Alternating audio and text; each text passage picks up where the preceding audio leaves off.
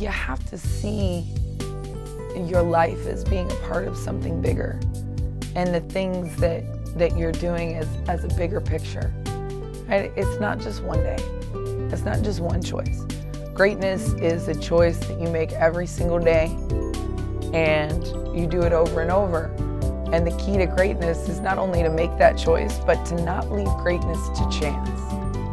We all have bad days. We all have times when we would like to sleep in or do something else. But would you sleep in if you knew it was going to affect your family, your teammates, your coworkers, or if it was just you by yourself? You're never on an island. Part of the way I was such a successful athlete is I structured boot camps. Right? I wasn't getting paid to play football, so I needed to find a way to make money and still do the work I needed to do.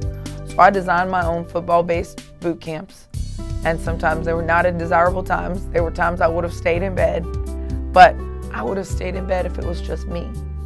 But when I had a whole group of people that were waiting for me, I wouldn't stay in bed. And so that pushed me to get up on mornings I would have liked to sleep in. So that's why I said, not only is greatness a choice that you make over and over, but you can help yourself by not leaving it to chance.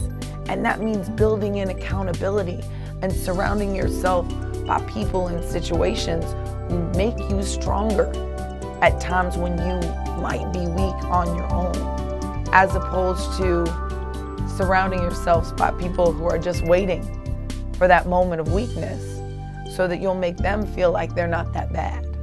You want people who will elevate you around you.